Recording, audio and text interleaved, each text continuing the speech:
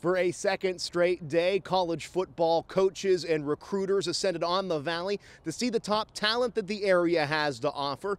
On Thursday, it was Ursuline showing what they have for the upcoming season as the Irish players look to impress college coaches and recruiters to make an impact at the next level.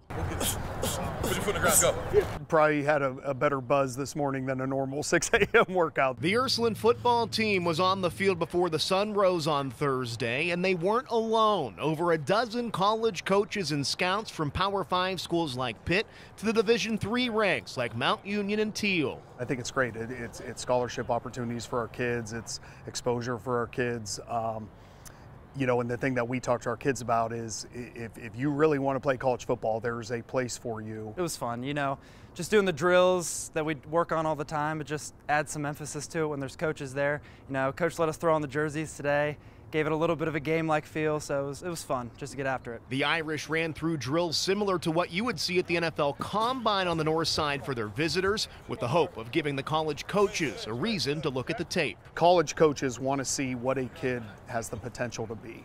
Um, film is a big part of that. Academics is a, is a big part of that, but also you know how they how fast they run a 40-yard dash, pro agility, broad jump, all those things.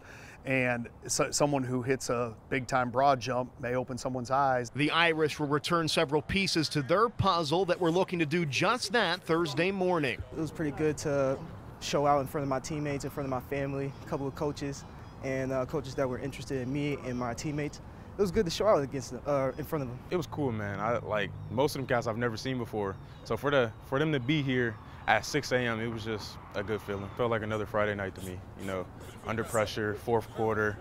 Time to get, time to be clutch, you know, time to go make a play. With the Irish in Youngstown, I'm Josh Furketic, Sports Team 27.